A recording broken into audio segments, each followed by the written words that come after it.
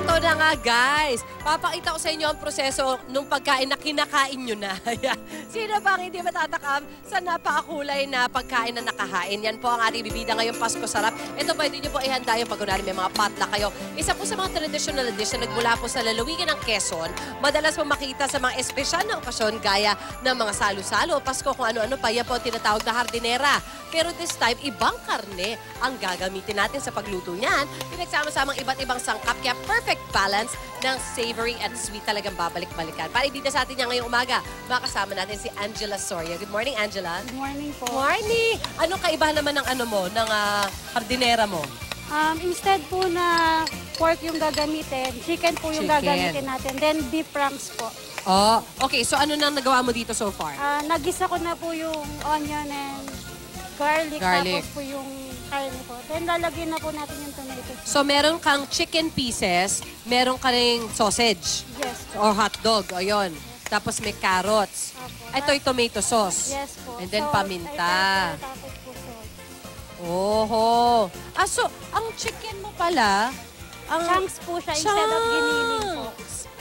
Inihintay ko kanina, sabi ko, nasan yung isa pa naming ingredient? Yun na pala siya, medyo mas malalaki siya ng konti. Opo. Yan naman ay Pickles pickles. po. Yan.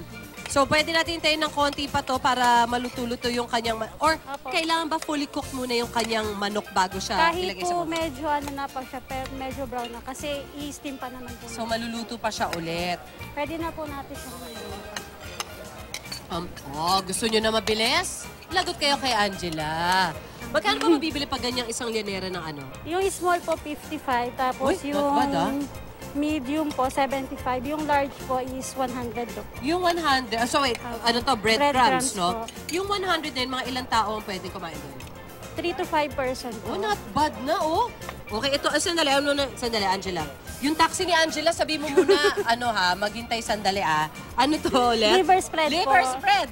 Tapos cheese po. May Grated cheese. cheese. Opo. So anyway, biruin nyo, pwede na kayo magsalo-salo dun sa large 100 pesos, Yes di ba? po. Okay, so may cheese, may Tapos, pasas. Yes po, raisins. So dito, yung sa traditional na hardinera, ang binago mo lang yung kanyang meat talaga. Yes po, instead na ham, beef franks po yung ginamit ko. Pwede rin siyang Ah, luncheon beef meat po. franks. Opo. Ayun pala yung parang hotdog na nakita ko. Opo. Ayun, so halo-halo, halo-halo Mix siya. na po siya. Then, Oh i- my! de-design na po natin yung pang-lianera niya po. So yan yung kumbaga papangibabaw Opo. pag binaliktad. Okay, Yes. so meron tayong itlog, pineapple, Tapos pickles, pickles. Uy, pinag-iisipan din nila syempre kung ano yung lalabas dun sa itaas para kagiliw-giliw nga naman. Tapos lalagyan po ng egg. egg po. Ah, konti lang. Apo. Para lang makoat siya. Ayan, tapos ilalagay na natin ang ating chicken hardinera mixture sa kanya. Iha-hard press po para po yung pressure niya.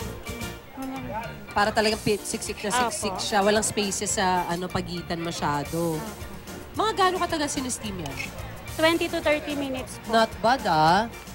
Eh, doon sa 20 to 30 minutes na yun, eh, marami na kayo ibang gawaing bahay na pwedeng gawin. Apo. Maganda business to ngayong Pasko, no? Yes po. No. All Tapos lalagyan po siya uli ng May egg ulit egg sa, ibabaw. Okay.